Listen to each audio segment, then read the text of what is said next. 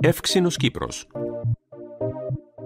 Ο Χαράλαμπος Χωτζάκογλου μας καλεί να ταξιδέψουμε μαζί με τους καλεσμένους του στα μονοπάτια της φιλόξενης Κύπρου, από τον Μεσαίωνα έως σήμερα. Κάθε Δευτέρα, λίγο μετά τις 5 το απόγευμα, από το πρώτο πρόγραμμα του ραδιοφώνου. Μια συνεργασία της Εταιρείας Κυπριακών Σπουδών και του ΡΙΚ.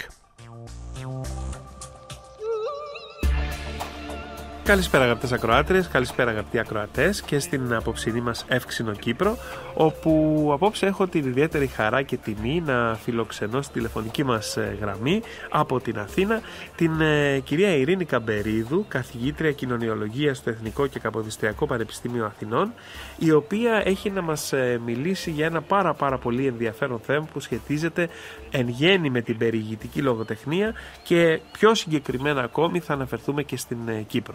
Αγαπητή κυρία Καμπερίδου, σας καλωσορίζω στο πρώτο πρόγραμμα του ΡΙΚ.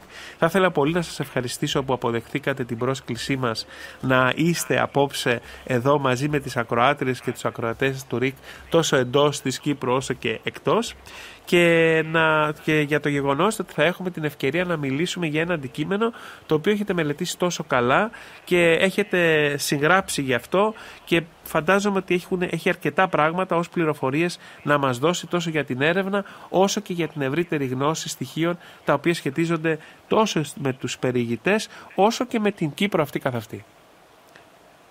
Ευχαριστώ πολύ. Θα ήθελα να σας ευχαριστήσω για την πρόσκληση είναι χαρά μου και τιμή μου. Να, να, να ξεκινήσουμε κατευθείαν λίγο έτσι με ένα βιογραφικό σας στίγμα, να μας πείτε πού ξεκινήσατε, πού κάνατε τις σπουδές σας και τι ήταν αυτό το οποίο σας ε, ε, προσήλκησε σε αυτό το τομέα σπουδών. Α, αρχικά σπούδασα, ε, μεγάλωσα στις Ηνωμένες Πολιτείες, στη Βοστόνη, οπότε σπούδασα στο Boston College και στο Emmanuel College. Όταν επέστρεψα στην Ελλάδα, συνέχισα εδώ διδακτορικές σπουδές. Έκανα προπτυχιακές και μεταπτυχιακές στη Βοστόνη και διδακτορικό στο Πάντιο, στο τμήμα κοινωνιολογίας με τον αείμνηστο Νεοκλή Σαρή και ασχολήθηκα με την πολυεθνική δουλεία του Οθωμανικού Χαρεμιού και αποκλειστικά με τη γυναικεία περιήγηση. Επειδή είδα ότι για τους περιηγητές είχαν γραφτεί πάρα πολλά, ενώ δεν υπήρχε τίποτα για τη γυναικεία περιήγηση. Και αρχικά θεωρώ σημαντικό να επισημάνω ότι η σύγχρονη έρευνα δεν έχει δείξει το απαραίτητο ενδιαφέρον για τον εντοπισμό, την καταγραφή και τη μελέτη των γυναικείων έργων, των γυναικείων μαρτυριών, της mm-hmm. γυναικείας περιήγησης, παρόλο που ήταν τόσο μεγάλη. Μάλιστα.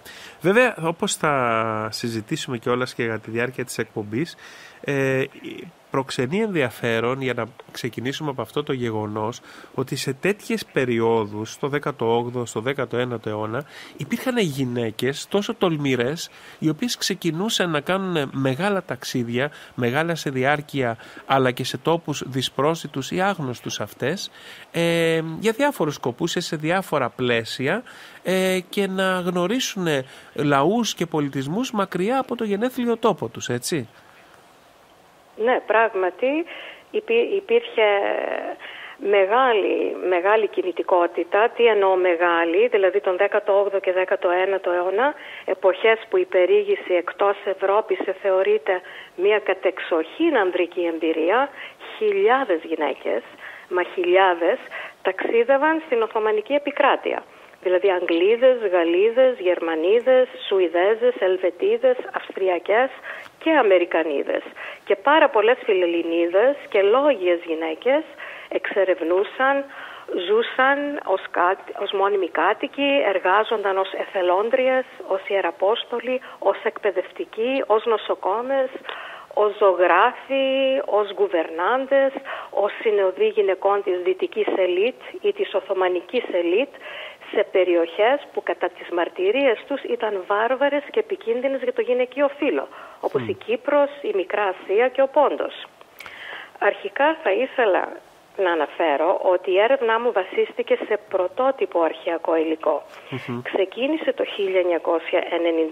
1997 και ολοκληρώθηκε ως διδακτορική διατριβή το το 2002 με τις μαρτυρίες 110 περιγητριών με θέμα την πολυεθνική δουλεία του Οθωμανικού Χαρεμιού και είχα τη τιμή να έχω μέλη της Τριμελού Συμβουλευτικής Επιτροπής ως επιβλέπον τον αείμνηστο Νεοκλή Σαρή, τον καθηγητή Κώστα Φωτιάδη και τον καθηγητή Μιχάλη Μερακλή.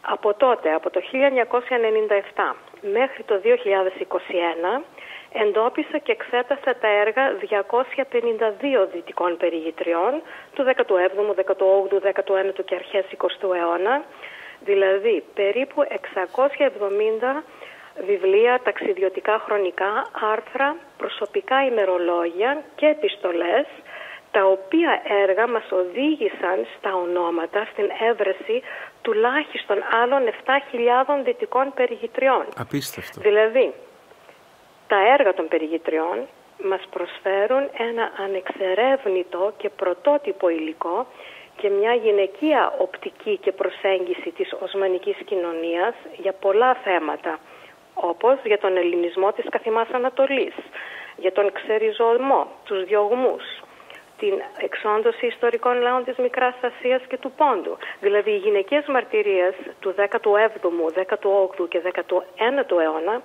αναγγέλουν έντονα φαινόμενα βίας και κοινωνικού ρατσισμού κατά των χριστιανών Έχουν πλούσια θεματολογία. Αλλά αρχικά ήθελα να αναφέρω ότι η έρευνά μου δεν είχε εστιάσει εδώ. Είχε εστιάσει στην πολυεθνική δουλεία του Οθωμανικού Χαρεμιού. Θα μου πείτε γιατί, επειδή αναρρύθμιτες Ευρωπαίες και Αμερικανίδες, κυρίως τον 19ο αιώνα, εργάστηκαν ή φιλοξενήθηκαν ως επίσημες προσκεκλημένες ή ως φίλες σε χαρέμια που αντιστοιχούσαν σε όλο το φάσμα α, της κοινωνικής στρωμάτωσης των Οθωμανών. Δηλαδή, οι επιτόπιες μαρτυρίες των περιγητριών μας παρέχουν αξιόπιστες πληροφορίες για την πολυεθνική πληθυσμιακή σύνθεση των χαρεμιών που απαρτίζονταν σύμφωνα με τις μαρτυρίες τους από Ελληνίδες, από Κυρκάσιες, από Γεωργιανές, από μαύρες γυναίκες της Αφρικής και της Αραβίας και από μαύρους εξισλαμισμένους ευνούχους και επίσης από Ευρωπαίες. Αναφέρονται μόνο Ιταλίδες και Γαλλίδες. Και διακρίνουμε ότι όλα τα έγκλειστα μέλη των Οθωμανικών χαρεμιών ήταν εξισλαμισμένες σκλάβες. Μάλιστα. Απελευθερωμένες σκλάβες ή απόγονοι σκλάβων. Να ρωτήσω κάτι εδώ. Ναι. Δηλαδή οι γυναίκες όλες αυτές οι οποίες κατέληγαν στα χαρέμια ήταν ε, αποτέλεσμα είτε ε, κάποιων πολέμων ή πολεμικών ε, μαχών της Ακριβώς. Οθωμανικής Αυτοκρατορίας είχαν συλληφθεί, ήταν εχμάλωτες και με αυτόν τον τρόπο κατέληγαν στα σκλαβοπάζαρα και στο χαρέμι. Ε, ε, κάπως έτσι να το Ακριβώς. φανταστούμε; Έτσι να το φανταστείτε, γιατί παρατηρείτε ότι, για παράδειγμα, κανένας σουλτάνος από τον 15ο αιώνα έως τον τελευταίο σουλτάνο του 20ου αιώνα δεν είχε, για παράδειγμα, μητέρα που είχε γεννηθεί ελεύθερη μουσουλμάνα, που υπήρξε ελεύθερη. Ήταν όλες εξισλαμισμένες σκλάβες. Μάλιστα, πολύ δηλαδή, ενδιαφέρον. η καταγραφή και η αλληλοδιασταύρωση πληροφοριών μαρτυριών δείχνει ότι το χαρέμι αμ, αποτελεί πλούσιο ερμηνευτικό κέντρο κατανόησης της Οθωμανικής κοινωνίας. Εν ολίγης, το χαρέμι αποτελεί ένα εργαλείο παρατήρησης για την κατανόηση και ερμηνεία ολόκληρης της Οθωμανικής κοινωνίας, η οποία βασιζόταν στο θεσμό της δουλείας, από την υπόδουλη Αθήνα έως την υπόδουλη Θεσσαλονίκη, από την Κωνσταντινούπολη έως την Τραπεζούντα. Δηλαδή, το χαρέμι αναδεικνύεται από όλες τις γυναικείες μαρτυρίες ως ο πυρήνας αυτοαναπαραγωγής κεντρικών στοιχείων και θεσμών της Οθωμανικής κοινωνίας και του Οθωμανικού κράτους, δηλαδή όπως οικογένεια, θρησκεία και κρατική εξουσία. Ο θεσμός της δουλείας δηλαδή ήταν πολύ βαθιά ριζωμένος στο κοινωνικό μόρφωμα των Οθωμανών Τούρκων και ήταν απόλυτα απαραίτητος όχι μόνο για τη λειτουργία του κράτους αλλά και για τη διατήρηση του θεσμού του χαρεμιού ή της αποκαλούμενης Οθωμανικής οικογένειας. Δηλαδή στο χαρέμι το χαρέμι αναδεικνύεται ως θεσμός κοινωνικοποίησης των μικρών παιδιών, των μικρών δούλων και των μικρών ελεύθερων μουσουλμάνων, ελεύθερων και εξισλαμισμένων σκλάβων. Δηλαδή ετοίμαζε τους μελλοντικούς ηγέτες και τους μελλοντικούς πολίτες και δούλους της Οθωμανικής κοινωνίας. Στο χαρέμι παρατηρείται ότι επικρατούσε και καλλιεργούταν ο δεσποτισμός, η μη ανοχή της διαφορετικότητας, η δουλικότητα, η εξάρτηση και γενικότερα η ανελευθερία. Δηλαδή, σε αντίθεση με τους περιηγητές, οι περιηγήτριες, χάρη στο φίλο τους, εισχώρησαν στα Οθωμανικά χαρέμια όλων των κοινωνικών στρωμάτων. Και όχι μόνο, είχαν πρόσβαση στα ιδιωτικά λουτρά των χαρεμιών, στα δημόσια γυναικεία λουτρά των, των Οθωμανίδων, καθώς και στο παιδικό χαρέμι που ετοίμαζε τους μελλοντικούς πολίτες και δούλους και είχαν πρόσβαση στο γυναικείο παρακράτος του μεγάλου χαρεμιού του Σαράι, που στα μόνιμα μέλη συμπεριλαμβάνονταν και οι απαραίτητοι εξισλαμισμένοι μαύροι ευνούχοι επειδή θεωρούνταν, επειδή θεωρούνταν άφιλοι. Να πούμε ότι ε, τα παιδιά τα οποία συγκεντρώνονταν στην αυλή του Σουλτάνου από το παιδομάζωμα δεν σχετίζονταν καθόλου με το χαρέμι, μπαίναν και αυτά με κάποιο τρόπο να, να αποτελέσουν ή είχαν, ήταν εντελώς διαφορετικό τμήμα της οργάνωσης; Ήταν εντελώς διαφορετικό τμήμα της οργάνωσης. Ο Νεοκλής Σαρής είχε mm-hmm. ασχοληθεί ο αείμνηστος με αυτό το θέμα. Αυτά τα παιδιά ήταν στο Σελεμλίκι, δεν ήταν στο Χαρέμι. Ήταν, ήταν ξεχωριστά. Μάλιστα. Α, επίσης, δεν σας απάντησα για τη γυναικεία περιήγηση. αξίζει να αναφέρω ότι υπήρχαν τρεις κατηγορίες περιηγητριών. Δηλαδή τι έκανα, δεν υπήρχαν. Εγώ τις χώρισα σε τρεις ομάδες, οι ναι. κατηγορίες. Και διαπίστωσα ότι κάθε ομάδα περιηγητριών θα μπορούσε από μόνη της να εξεταστεί ξεχωριστά, να μελετηθεί και να αποτελέσει δηλαδή αποκλειστικό θέμα επιστημονικής έρευνας. Για παράδειγμα, στην πρώτη ομάδα έχουμε τις γυναίκες βασιλικών οικογενειών, βασίλισσες, πριγκίπισσες, οι αυλοί τους, τα διάφορα μέλη της δυτικής αριστοκρατικής ιεραρχίας που φυσικά ταξίδευαν. Στη δεύτερη ομάδα, τη μεγαλύτερη, τοποθετώ τις εξερευνήτριες, τις ζωγράφους, τις συγγραφείς, τις φεμινίστριες, τις περιοδικά μόνιμες κατοίκους και τις γυναίκες της μεσαίας τάξης, οι οποίες ταξίδευαν μόνες τους ή με, ή με συνοδεία ή με φίλες, καθώς και τις εργαζόμενες όπως οι γκουβερναντες Και σε αυτό το σημείο επιβάλλεται να σας πω ότι το 1836 παρατηρούμε για πρώτη φορά την εμφάνιση α, δυτικών περιγητριών της, της μεσαίας τάξης κυρίως λόγω της εκρηκτικής εξέλιξης των θαλάσσιων μεταφορικών μέσων. Μάλιστα. Οπότε αυτό έκανε το ταξίδι πιο προσιτό οικονομικά σε ευρύτερες κοινωνικές ομάδες. Γι' αυτό έχουμε α, μεγάλο αριθμό περιγητριών εδώ. Και αυτές έχουν μεγάλο ενδιαφέρον για το χαρέμι και τη θέση της γυναίκας στο Ισλάμ. Μας έχουν, σωθεί, μας έχουν σωθεί κείμενα από ναι, όλα αυτά είναι γυναίκες που ήταν στο χαρέμι να έχουν γράψει εκείνες καθόλου κείμενα ή ε, από μνημονεύματα είτε ε, ημερολόγια ε, μας είναι καθόλου γνωστά από ό,τι εσείς γνωρίζετε; Δεν είναι αλλά ναι, έχουν σωθεί, δεν είναι πολλά, κυρίως είναι εκείνα των περιγητριών που επισκέπτονταν και εργάζονταν στο χαρέμι. Μάλιστα. Αλλά υπάρχουν και λίγα από γυναίκες όπως η Μελεκ Χανουμ, πρώην Marie Jean Milligen, που έζησε πάνω από 30 χρόνια στα χαρέμια στην Οθωμανική Αν αναφέρω και την τρίτη ομάδα ναι. που έχουμε τις γυναίκες περιγήτριες που δηλώνουν ένα συγκεκριμένο σκοπό για το ταξίδι, όπως οι εθελόντριες, οι ιεραπόστολοι, οι εκπαιδευτικοί, δηλαδή για παράδειγμα αυτές που δηλώνουν την πρόθεση του Λόγου του Θεού ή την πρόθεση της γυναικείας εκπαίδευσης ή την ίδρυση σχολείων για τα κορίτσια. Και τα λοιπά. Οι οποίες παίζουν πολύ μεγάλο ρόλο και μάλιστα σε μια ναι. προηγούμενη εκπομπή που κάναμε αναφέρθηκε ο ρόλος ε, ε, στην Κύπρο τουλάχιστον των ε, καλογριών δυτικών ταγμάτων μέχρι και, τα, και τον 20ο αιώνα είχαν αναλάβει και προσέφεραν, είχαν μεγάλο ρόλο και δράση στην εκπαίδευση των Κυπρίων διότι ακριβώς είχαν μια οργανωμένη, ένα οργανωμένο φορέα. Τώρα ναι, να μας πείτε λίγο όλα αυτά τα τα κείμενα, ε, τα περιηγητικά, τα ημερολόγια κυρίως, ε, τις, ε, ε τις, τα απομνημονεύματα έχουν δημοσιευθεί ή βρίσκονται πολλά από αυτά ακόμη σε χειρόγραφη μορφή και απόκεινται σε βιβλιοθήκες ή σε αρχεία; Ναι, όπως ήδη ανέφερα, η σύγχρονη έρευνα δεν έχει δείξει το απαραίτητο για τη γυναικεία περιήγηση, παρόλο που ήταν τόσο μεγάλη και δεν υπάρχει δικαιολογία πια Δηλαδή, γιατί τι εννοώ δεν υπάρχει δικαιολογία πια. Τα τελευταία χρόνια ξεκίνησε η, η ψηφιοποίηση των περιηγητικών έργων.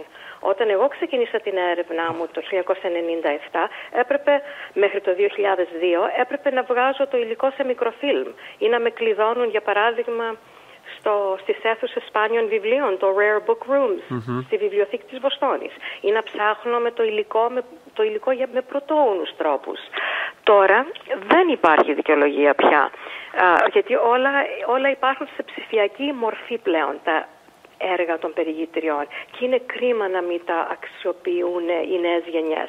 Υπάρχει πλούσια θεματολογία, μεγάλο πεδίο έρευνας, δηλαδή οι περιηγήτριες, οι δυτικές περιηγήτριες επεξεργάζονται θέματα όπως την εμπειρία των δυτικών εθελοντριών κατά τη διάρκεια του Κρημαϊκού πολέμου, όταν mm-hmm. χιλιάδες γυναίκες, Γαλλίδες και κυρίως Αγγλίδες ακολουθούσαν τους συζύγους τους στον πόλεμο, χωρίς καμία πρόνοια ή προστασία από το κράτος τους.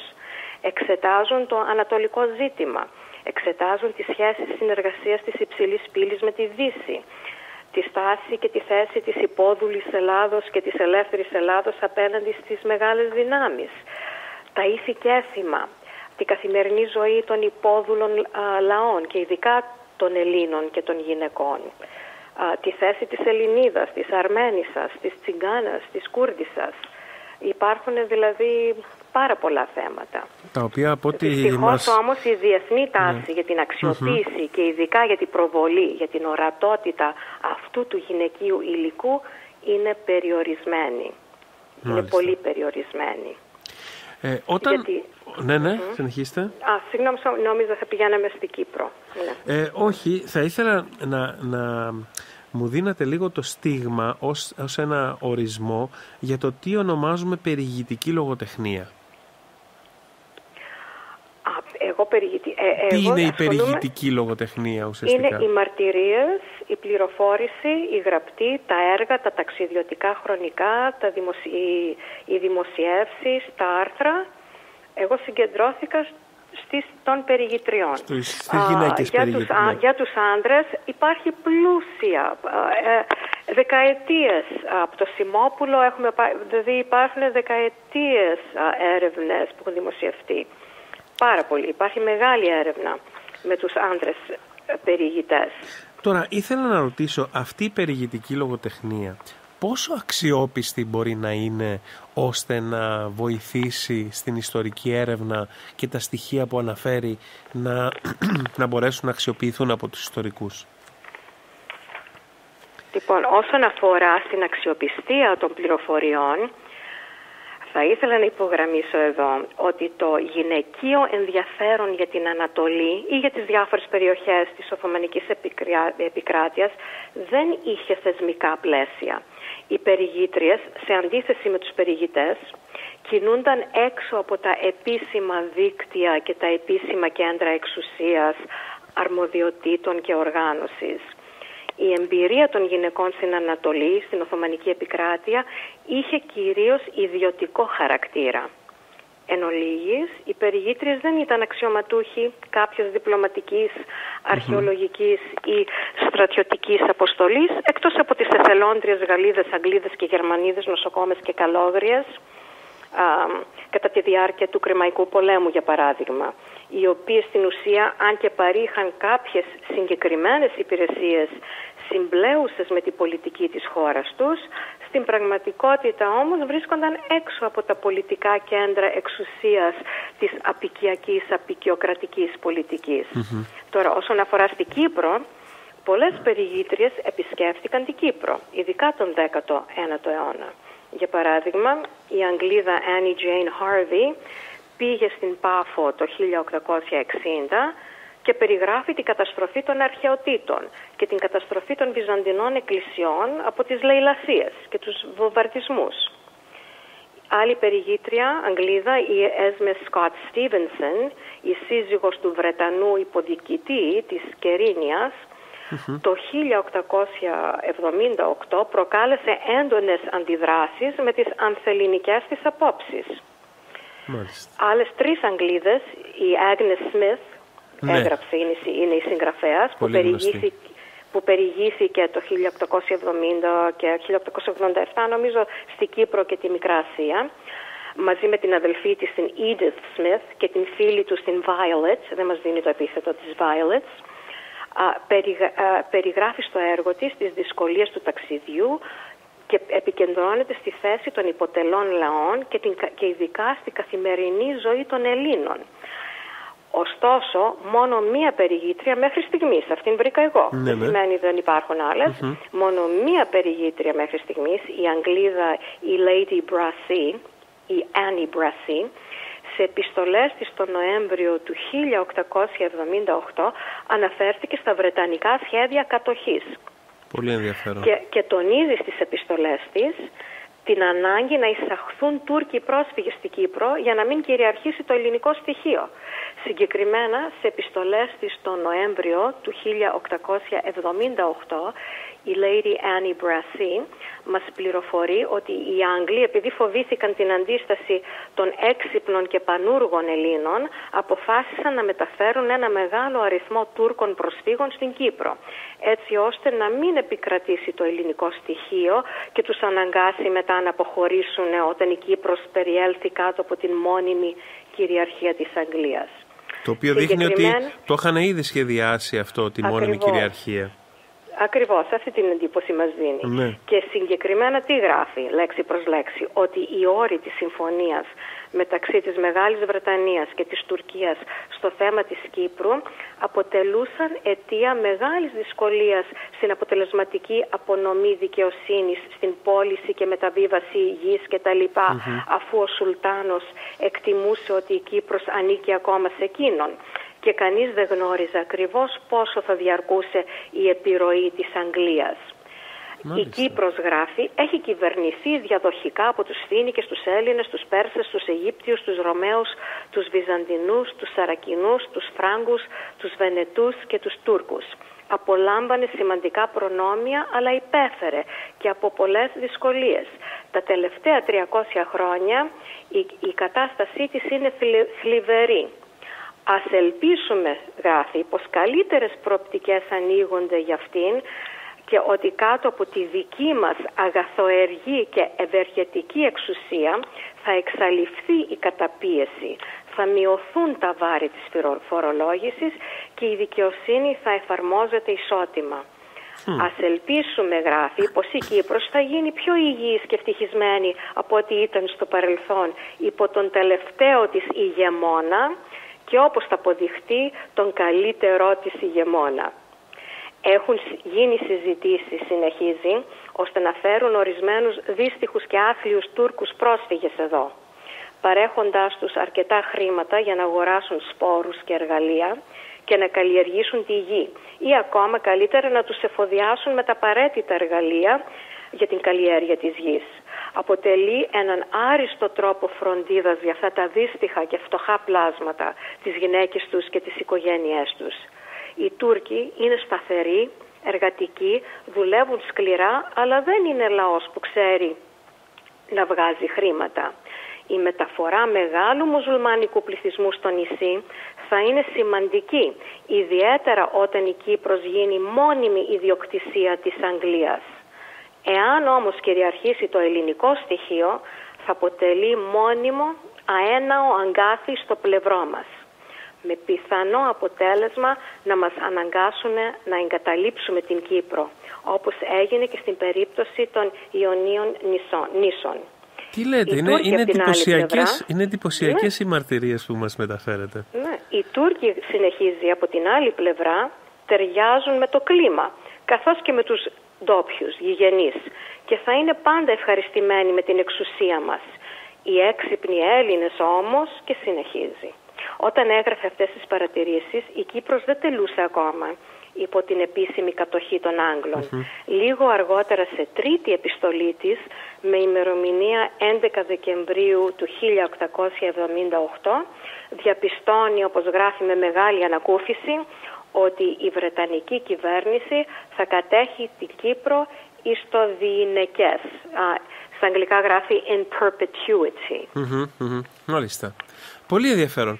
Ε, κάπου εδώ να κάνουμε ένα μικρό μουσικό διάλειμμα και να επιστρέψουμε αμέσως μετά συνεχίζοντας να μας ε, λέγοντάς μας και περαιτέρω πληροφορίες για την Κύπρο και για τις πληροφορίες που δίνουν οι περιηγήτρες γι' αυτό αλλά θα έχουμε την ευκαιρία να πούμε και για την άλλη προσφορά, για την περαιτέρω προσφορά των περιηγητικών μαρτυριών και της περιηγητικής λογοτεχνίας στην ιστορία, στην πολιτική και όχι μόνο. Αμέσως μετά το μουσικό μας διάλειμμα. Πες μου τι ζητάς στους σταθμούς που αγάπησες. Ό,τι κι αν σου που οι πηξίδες δείχνουν πάντα το βορειά Αν δεν προδοθείς απ' τα χνάρια που αφήσες δεν θα λυτρωθείς αν γυρίζεις τα λιμέρια της πληγής τα ντουμάνια στο τρένου τις γραμμές σου δείχνουνε το χθες. Θες δεν θες στα λιμάνια των φάρων οι ρηπές ανάψανε φωτιές. Αχ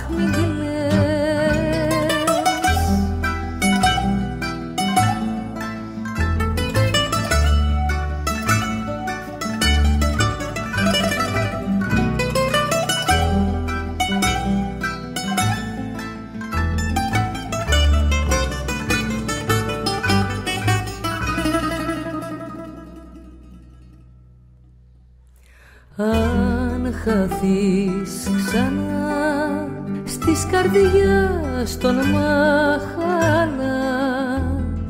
Κάπου εκεί κοντά μεθυσμένη περιμένει μια σκιά.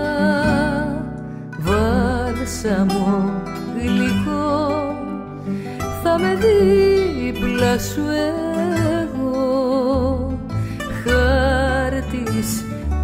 διψώ το μελάνι της πορείας σου να πιω. Τα ντουμάνια στο τρένο τις γραμμές σου δείχνουνε το χθες. Θες δεν θες στα λιμάνια των φάρων οι ρηπές. Ανάψανε φωτιές αχ μην τα ντουμάνια στο τρένο τις γραμμές σου δείχνουνε το χθες. Θες δεν θες στα λιμάνια των φάρων οι ρηπές. Ανάψανε φωτιές αχ μην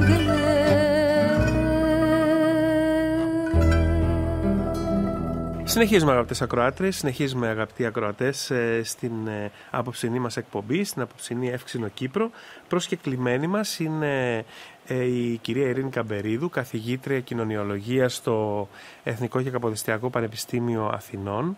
Έχουμε τη χαρά να μιλάμε για την περιηγητική λογοτεχνία και ιδιαίτερα για τις γυναίκες περιηγήτριες. Και όπως μας ανέφερε η κυρία Καμπερίδα από την έρευνά της έχει μελετήσει παραπάνω από 252 περιηγητικές μαρτυρίες. Αναφέρθηκε ήδη στο πρότυπμα της εκπομπής για το τι προσφέρουν αυτές οι περιηγητικές μαρτυρίες, η λογοτεχνία, ε, η η βιβλιογραφία πώς έχει ε, συνεχίσει και έχει δώσει την ευκαιρία πλέον σήμερα να μπορούμε να αξιοποιήσουμε αυτές τις πηγές και ήταν πολύ εντυπωσιακά και ε, τα στοιχεία που μας ανέφερε και για την Κύπρο έτσι δειγματοληπτικά τι λένε δηλαδή στην επιστολογραφία τους οι γυναίκες αυτές για την Κύπρο μεταφέροντας ε, σκέψεις οι οποίες εντάσσονται στην αγγλική πολιτική όταν η Κύπρος κατέστη όταν νοικιάστηκε ουσιαστικά από τους Βρετανούς το 1878. Κυρία Καμπερίδη, θέλω να σας ρωτήσω, η σχέση των περιγητριών τώρα με τα κέντρα εξουσίας, ε, ποια είναι; Και όταν λέμε κέντρα εξουσίας, είτε αναφερόμαστε σε αυτές οι οποίες σχετίζονται προφανώς ε, με, με, με, το γεγονός ότι έρχονται εδώ πέρα με, με νοσοκομεία μαζί ή για να δράσουν κάπως έτσι, ή έχουν μέρος ή λαμβάνουν μέρος στη διοίκηση, την κεντρική διοίκηση κάποιου κράτους, της Αγγλίας για παράδειγμα στην περίπτωση της Κύπρου ή άλλων περιοχών, ή σχετιζόμενες με εκκλησιαστικούς φορείς όπου έρχονται εδώ πέρα για να αναπτύξουν θρησκευτική δράση και εκπαιδευτική ε, και όταν αυτά τα στοιχεία τα καταγράφουν, μεταφέρουν ουσιαστικά προσωπικές απόψεις ή μεταφέρουν την ιδεολογία, την άποψη των κέντρων εξουσίας από τα οποία προέρχονται. Ναι, πράγματι. Μεταφέρουν προσωπικές απόψεις και, και τα δύο. και ιδεολογήματα των κέντρων εξουσίας. Πολλές περιηγήτριες μοιράζονται την απεικιο, τις απεικιοκρατικές απόψεις της εποχής τους, δηλαδή συμφωνούσαν με την πολιτική της δυτικής τους κοινωνίας, όπως οι χιλιάδες εθελόντριες, το μεγάλο κίνημα εθελοντριών κατά τη διάρκεια του Κρημαϊκού πολέμου. Δηλαδή οι νοσοκόμες, οι φιλάνθρωποι, οι εθελόντριες και οι καλόγριες διαφόρων γαλλικών και αγγλικών αποστολών γιατί την περίοδο αυτή η Αγγλική και η γαλλική πολιτική ενθάρρυνε τη γυναικεία συμμετοχή σε αυτήν την απεικιοκρατική εμπειρία. Επίσης, οι μαρτυρίες δυτικών περιγητριών παρέχουν πολύτιμες πληροφορίες και προσωπικές απόψεις για τη θέση των υποτελών λαών και ιδιαίτερα των Ελλήνων. όσον αφορά τους Έλληνες και τις Ελληνίδες, οι περιγραφές τους διαφέρουν ανάλογα πάλι με τις ιδεολογίες, τις απεικιοκρατικές τους απόψεις, τις πολιτικές τους θέσεις και, και προκαταλήψεις. Για παράδειγμα, η Lady Hornby βρισκόταν στην Κωνσταντινούπολη την εποχή του Κρημαϊκού και γράφει «Δυστυχώς οι πόλεις είναι γεμάτες Έλληνες». Γιατί το γράφει αυτό, επειδή η ελληνική αντίσταση την εποχή εκείνη δημιουργούσε προβλήματα όχι μόνο στους Τούρκους, αλλά και στους συμμάχους των Τούρκων, τους Άγγλους και τους Γάλλους. Οπότε τους περιγράφει ως εγκληματικό και τα, ταραχοποιό στοιχείο, με κλίση για αντίσταση. Όπως ήταν και οι Έλληνες της Κύπρου που κατά τη Lady Brassy αποτελούσαν ένα μόνιμο αγκάθι στο πλευρό της Αγγλίας. Ενώ άλλη περιγήτρια με με 50 χρόνια παραμονής σε περιοχές της Οθωμανικής επικράτειας η Αγγλίδα Lady Janet Sanderson Blunt που ήταν κόρη και σύζυγος πρέσβη αυτή περιγράφει τους Έλληνες ως ισχυρό και προοδευτικό λαό με ανεπτυγμένο πατριωτισμό, παλικαρισμό και φιλότιμο, χρησιμοποιεί ελληνικές με δίψα για μάθηση και πρόοδο. Από την άλλη πλευρά η Marie Dijan Milujen, αργότερα η πρώτη σύζυγος του μεγάλου βεζίρη της Τουρκίας Κιμπριζλή Μεχμέτ Πασά, περιγράφει τους Έλληνες ως δουλοπρεπείς και ευλίγιστοι. Η Αγγλίδα συγγραφέας Julia Pardoe το 1836 τους περιγράφει ως το επικίνδυνο, θανάσιμο, εγωιστικό και ανυπότακτο ελληνικό στοιχείο. Ωστόσο, στα έργα των περιγητριών παρατηρείται μια ιδιαίτερη ευαισθητοποίηση όσον αφορά στο θέμα της υποδούλωσης και του εξανδραποδισμού από τον τουρκικό ζυγό αυτών που αποκαλούσαν, που θεωρούσαν απογόνους των αρχαίων Ελλήνων και αυτό συμβάλλει στην επικέντρωση του γυναικείου λόγου στο ελληνικό στοιχείο συγκριτικά με τις περιγραφές τους για άλλους υπόδουλους λαούς της Οθωμανικής επικράτειας. Εν ολίγης, οι περιηγήτριες και ιδιαίτερα εκείνες του 19ου αιώνα, όπως και οι περιηγητές, ήταν επηρεασμένες από αυτό που αποκαλεί ο Λάραμπι το 1957 από τον ελληνικό πυρετό, δηλαδή το μεγάλο φιλελληνικό ρεύμα της εποχής τους. Για παράδειγμα, Ευρωπαίες και Αμερικανίδες έγραφαν, δημοσίευαν ή προσέφεραν τις υπηρεσίες τους για την Ελληνική Επανάσταση. Ενεργούσαν για τη συγκέντρωση χρημάτων, για τη συγκέντρωση εθελοντών, εθελοντριών, τροφίμων και ρουχισμού. για παράδειγμα, διακρίνουμε αυτό το φιλελληνικό πυρετό στα έργα πολλών περιηγητριών, όπως εκείνα της Dora Distria, διεθνώς διακεκριμένη στην εποχή της συγγραφέας και φιλελληνίδα, που επικεντρώνει την προσοχή της στο πατριωτικό και εθνικό πνεύμα των Ελληνίδων, οι οποίες γράφει συμμετείχαν ενεργά στους εθνικοπελευθερωτικούς και προτιμούσαν να πεθάνουν παρά να γίνουν σκλάβες των Τούρκων. Σε άλλο έργο της γράφει αναφέρει τις Σουλιώτισσες, τις γυναίκες του Μεσολογγίου, τις γυναίκες των κλεφτών, την Μαντό Μαυρογένους. Όταν πήγε στις Σπέτσες, η Ντόρα Ντίστρια επισκέφτηκε την οικία και τους απογόνους της Μπουμπουλίνας. Αργότερα η Αμερικανίδα περιγήτρια Emma Raymond Pitnam το 1881 υποστηρίζει ότι οι Έλληνες κατέχουν παιδεία, είναι αρκετά μορφωμένοι και αγαπούν πολύ την ελευθερία για να υποστούν με υπομονή την απάνθρωπη καταπίεση των Τούρκων και την κακοδίκηση της χώρας τους. Γράφει επίσης ότι οι επαρχίες της Ελλάδας ακόμα και τώρα, αναφέρεται στο 1881, βρίσκονται κάτω από τη φτέρνα ενός κατακτητή και είναι ανυπόμονες και ανήσυχες. Η τουρκική καταπίεση αντιτίθεται στο ελληνικό πολιτισμό. Τα δύο δεν μπορούν να συγχωνευτούν, όσο δεν μπορούν να συγχωνευτούν το σκότος και το φως. Οι σύγχρονοι αναγνώστες που δεν γνωρίζουν αρχαία ιστορία δεν μπορούν να καταλάβουν, να αντιληφθούν ότι ένα εξαιρετικά μεγάλο κομμάτι της τουρκικής αυτοκρατορίας κάποτε ανήκε στην Ελλάδα. Διακρίνουμε πρέπει να σας πω αυτό το φιλελληνισμό όχι μόνο τον 19ο αιώνα αλλά και στα έργα των περιγητριών του 17ου αιώνα. Τόσο παλιά. Για παράδειγμα, ως απόγονη των αρχαίων Ελλήνων περιγράφει τους Έλληνες η Σουηδέζα, η Σουηδή περιγήτρια Άννα Ακερζέλμ, αυτός στις επιστολές της, η Άννα Ακερζέλμ συνόδευε ως και η κυρία επί των, επί των τιμών τη σύζυγό του Κόμι Κούνσμαρκ και των ίδιων στις εκστρατείες τους.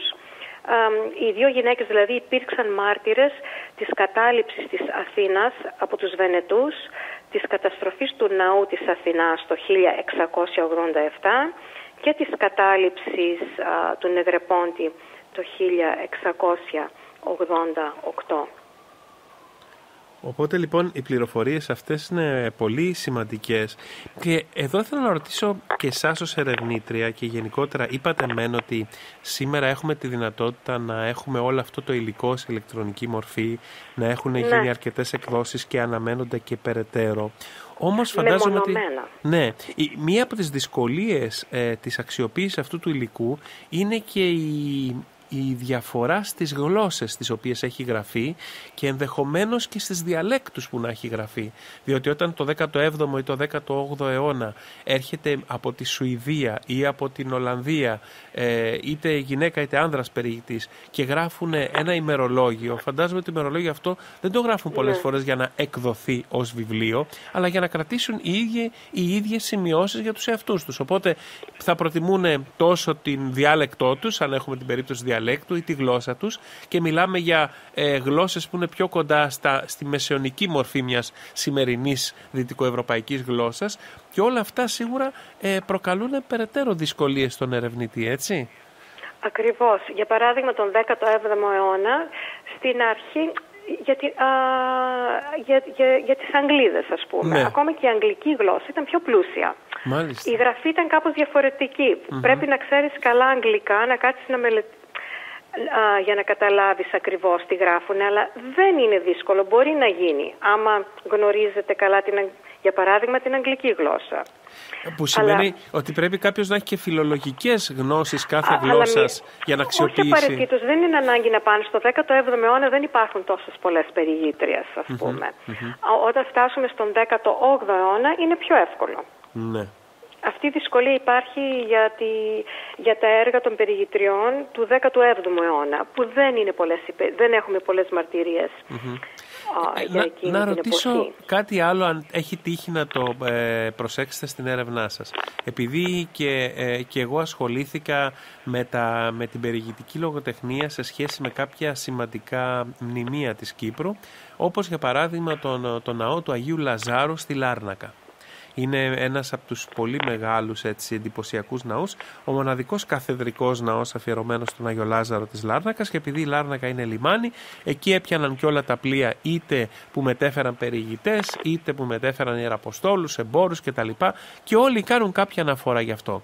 Μέσα από αυτά λοιπόν διαπιστώνω κάτι το οποίο φυσικά ήταν γνωστό στους ανθρώπους που έχουν εμπειρία στην περιηγητική λογοτεχνία, ότι έχουμε και περιπτώσεις λογοτεχνικών έργων τα οποία συνεγράφησαν χωρίς ποτέ ο συγγραφέας να μεταβεί στους χώρους αυτούς, να τους επισκεφθεί. Δηλαδή μπορεί να είχε κάποιους χαράκτες, οι οποίοι πήγαιναν και σχεδίαζαν μια εκκλησία στο ταξίδι τους, κάποιους άλλους οι οποίοι έγραφαν κάποια μαρτυρία και οι ίδιοι μετά μπορεί να μαζεύαν στο τραπέζι τους βιβλία περιηγητικά για μια περιοχή και έκαναν ουσιαστικά έπαιρναν στοιχεία από το κάθε ένα βιβλίο, δημιουργούσαν ένα καινούριο έργο και έδιναν την εντύπωση ότι οι ίδιοι πήγανε σε αυτό το χώρο και είδαν όλα αυτά τα οποία περιγράφει ο Στράβωνας, ο Παυσανίας και ούτω καθεξής. Και εκεί πέρα λοιπόν ο ερευνητής είναι αντιμέτωπος με το ποιες από αυτές τις πληροφορίες μπορεί να ε, αξιοποιήσει ως ε, αξιόπιστες και να βασιστεί πάνω τους και ποιες από αυτές είναι τελείως ε, φανταστικές. Έχετε, είχατε κι εσείς αντιμετωπίσει αντίστοιχες δυσκολίες; Πράγματι υπάρχει αυτό. Εγώ δεν επικεντρώθηκα στα, στα, στην αρχαίο, στα αρχαία γλυπτά και τα λοιπά, ναι, αλλά ακόμη και όταν, όταν περιγράφουν ένα γεγονός, μια ιστορία κτλ. Κοίτα, ε, επειδή ναι. ξέρω, επειδή διαβάζω, διά, διάβασα για παράδειγμα τα έργα της, της Walker, η οποία ήταν 40 χρόνια, ήταν και ζωγράφος και ζούσε 40 χρόνια στην, στη, σε διάφορες περιοχές των, της Οθωμανικής επικράτειας. Α, φαίνεται στο έργο της, φαίνεται ότι εργάζεται εδώ, την έχουν προσλάβει στο τάδε χαρέμι. Μάλιστα φιλοτεχνία εδώ. Ναι, ναι. για παράδειγμα, κυκλοφορεί στην περιοχή. Οπότε περιγράφει αυτό που βλέπει και το ζωγραφίζει. Εκεί δεν την, δεν την, δεν την αμφισβητώ, γιατί έχω δει ότι έχει προσωπικές επαφές με τις γυναικες Έχει πάει στα γυναικεία λουτρά. Έχει μπει στα τάδε σπίτια ή στα τάδε χαρέμια. Οπότε υποθέτω μετά ότι όταν, όταν κάνει την περιγραφή, ότι είναι πραγματική περιγραφή. Σωστά σωστά. Αλλά ε, όχι, επιστημονικά δεν μπορώ να... να δηλαδή οι περιηγήτριες του 18ου-19ου αιώνα, όπως και οι περιηγητές, πράγματι τεκμηριώνουν το δυτικό ενδιαφέρον για τις ελληνικές και την αρχαία αρχιτεκτονική. μιλάνε για την απομάκρυνση εντός εισαγωγικών των αρχαιοτήτων, δηλαδή για την αρχαιοκαπηλεία. Αλλά υποθέτω κι εγώ ότι, για παράδειγμα, τον 17ο αιώνα. Η Σουηδή περιηγήτρια, η Άννα Κερζέλ, που σας είπα ναι. συνόδευε ναι. ως κυρία επί των τιμών την Κάθριν Καρλώτα Ντολεγκάρντι, τη σύζυγο του Κόμι Κουνσμαρκ, περιγράφει την καταστροφή του Παρθενώνα. Αφού στις επιστολές της τα περιγράφει όλα, υποθέτω ότι λέει αλήθεια ότι είναι ναι, εκεί και το περιγράφει. Ναι. αλλά σε επιστολή της προς τον αδελφό της, τι γράφει; Σε μια επιστολή της προς τον αδελφό της με ημερομηνία 18 Οκτωβρίου 1687 γράφει «Το φρούριο βρίσκεται πάνω στο λόφο» κτλ. κτλ. Πόσο λυπήθηκε ο αυτού εξοχότης, εννοεί ο Count Kunzmark, που κατέστρεψε τον ωραίο ναό ο οποίος υπήρχε εκεί 3.000 χρόνια και ονομαζόταν ο ναός της Αθηνάς. Οι βόμβες προκάλεσαν τέτοιες επιπτώσεις που αυτός ο ναός δεν θα μπορέσει ποτέ πια να αποκατασταθεί και να αποδοθεί στον κόσμο. Δηλαδή κατά την πολιορκία της Αθήνας, όπως επισήμανε στην επιστολή της, μία βόμβα έπεσε στον αρχαίο ναό της Αθηνάς που οι Τούρκοι είχαν μετατρέψει σε τζαμί και στον οποίο είχε εγκατασταθεί αποθήκη. Αναφέρει επίσης ότι ολόκληρος ο ναός καθώς και ένα μεγάλο μέρος της πόλης καταστράφηκαν εντελώς και από τότε η πόλη της Αθήνας πέρασε στα χέρια των χριστιανών. Υποθέτω, ναι, δεν είναι επιστημονικά τεκμηριωμένο ότι ήταν Υποθέτω ότι αυτό έγινε, αυτό βλέπει. Ναι. Έχω, έχουμε και επιστολή της συζύγου του Λόρδου Έλγεν. η σύζυγος του Lord Elgin, η Mary Nisbet of Durlington, βρισκόταν στην Κωνσταντινούπολη το 1799 έως το 1802 και στις επιστολές της προς τη μητέρα της από την Κωνσταντινούπολη αναφέρεται επιφανειακά στη συλλεκτική μανία του συζύγου της. Mm. Επίσης στις επιστολές της προς τη, μητέρα, προς τη μητέρα της υπάρχουν και αναφορές για την απομάκρυνση εντός εισαγωγικών την απομάκρυνση των μαρμάρων δηλαδή την αρπαγή των γλυπτών του Παρθενώνα και άλλων αρχαιοτήτων. Γενικότερα και οι περιηγήτριες και αυτές αναζητούν και αντλούν και επεξεργάζονται πληροφορίες σχετικά με την αρχαία Ελλάδα και το Βυζάντιο. Εξετάζουν την αρχιτεκτονική των Βυζαντινών μνημείων, ιδιαίτερα την Αγία Σοφιά. Για παράδειγμα, η Αγγλίδα περιηγήτρια ζωγράφος που σας είπα, η Mary Walker, μας πληροφορεί ότι στο γυναικείο Λουτρό που επισκέφτηκε το 1867 υπήρχε τετράγωνη πισίνα αρχαίας κατασκευής που είχε μια σκεπή που στηριζόταν επάνω σε κολόνες. Η περιηγήτρια παρατήρησε επίσης ότι πάνω στις κολόνες υπήρχαν πλάκες στους τοίχους με αρχαίες ελληνικές επιγραφές. Μία άλλη περιηγήτρια α, είδε, είδε συλλογές αρχαιοτήτων σε χαρέμι μιας Οθωμανικής πριγκίπισσας όπως της πριγκίπισσας Μανσούρ, αδελφή του Κεντίβ της Αιγύπτου. Στα ταξιδιωτικά της χρονικά, αυτή η περιηγήτρια με το όνομα Dowager Marchioness of Dufferin and Ava, μαθαίνουμε ότι στην επίσκεψή της στο χαρέμι της πριγκίπισσας Μανσούρ στις 19 Δεκεμβρίου του 1882 διαπίστωσε ότι η πριγκίπισσα η οποία μιλούσε και άπτεστα τη γαλλική γλώσσα, είχε συλλογή αρχαιοτήτων και την περιγράφει και, και περιγράφει τη συλλογή των αρχαιοτήτων. Ενδιαφέρον. Και μια γυναίκα συλλέκτης λοιπόν. Ναι, μια γυναίκα συλλέκτης. Δηλαδή μαθαίνουμε ότι τα αρχαία γλυπτά, τα αρχιτεκτονικά μνημεία και τα έργα τέχνης ήταν εκ, ε, εκτεθειμένα και στο έλεος των Τούρκων. Τα κείμενα των περιγητριών αλλά και των περιγητών αποκαλύπτουν πλήθος α, βανδαλισμών. Βέβαια από την άλλη... Για παράδειγμα, θα χρησιμοποιούσαν τα μάρμαρα της Ακρόπολης για την Παρασκευή ασβέστη. Αλλά αυτά που να τα διαβάσαν ή να τα είδαν οι ίδιες. Δεν γνωρίζουμε ακριβώς. Όμως από την άλλη ε, βλέπουμε και στη συγκεκριμένη περίπτωση που αναφερθήκατε για τα μάρμαρα του Παρθενώνα πόσο σημαντική μια τέτοια περιηγητική μαρτυρία μπορεί να καταστεί ακόμη και σήμερα για πολιτικούς λόγους ή για τους λόγους διεκδίκησης αυτών των αρχαιοτήτων. Ναι, πράγματι. Άρα λοιπόν θέλω να πω ότι η περιηγητική λογοτεχνία και δεν είναι μόνο ένα κομμάτι της λογοτεχνίας που αναφέρεται απλώς στο παρελθόν, αλλά βλέπουμε τη διασύνδεση και την επίδραση που έχει ως τις ημέρες μας και από την άλλη φωτίζει στοιχεία και ε, μετα, από, από τις περιηγήτρες που έζησαν για μεγάλο διάστημα στις περιοχές που επισκέφθηκαν, στοιχεία του χαρακτήρα, των ηθών, των εθήμων, της νοοτροπίας ενός λαού και πώς αυτή η νοοτροπία αλλάζει μέσα στο χρόνο ε, όταν ε, κάποιος ε, συγκρίνει τις αντίστοιχες μαρτυρίες διαφορετικών αιώνων. Μάλιστα. Ε, Δυστυχώς ο χρόνος μας έχει τελειώσει, αγαπητή κυρία Καμπερίδου. Ε, είναι τόσο ενδιαφέροντα αυτά τα οποία μας ε, μεταφέρατε και φαντάζομαι ότι άλλη μία ώρα αν είχαμε θα είχαμε να ακούσουμε ακόμη πολύ πιο ε, σημαντικές και ενδιαφέρουσες πληροφορίες, διότι ε, σίγουρα είναι ανεξάντλητο το υλικό και υπό αυτήν την έννοια είναι και μια μεγάλη έτσι, ανταμοιβή του ερευνητή όταν αναζητεί και βρίσκει τόσο ενδιαφέροντα πράγματα. Σας ευχαριστώ πάρα πολύ. Σας ευχαριστώ για την πρόσκληση. Ε, ευελπιστώ ότι θα ξανά έχουμε την ευκαιρία να τα ξαναπούμε. Είναι και... στη διάθεσή σας. Και ελπίζουμε να σας έχουμε και πολύ σύντομα και στην Κύπρο, να μας πείτε και από κοντά πολλά από αυτά τα οποία έχετε εντοπίσει, αλλά και να συνεχίσετε με την ίδια ορμή και ζέση την έρευνά σας, αφού όπως βλέπουμε έχει τόσα πολλά να μας δώσει, όχι μόνο για το παρελθόν, αλλά ακόμη και για το πολύ ζωντανό παρόν. Πολύ σας ευχαριστούμε για αυτή την ε, παρουσίαση που μας κάνατε. Ευχαριστώ πάρα πολύ. Αγαπητές ακροάτερες, αγαπητοί ακροατές, ε, κάπου εδώ η απόψινή εκπομπή έχει φτάσει στο τέλος της. Ανανεώνουμε το ραντεβού μας για την επόμενη εβδομάδα. Από εμένα το Χαράλαμπο Χοτζάκογλου στην παραγωγή και το Δημήτρη Σιμεού στην ηχοληψία. Σας ευχόμαστε ένα καλό βράδυ.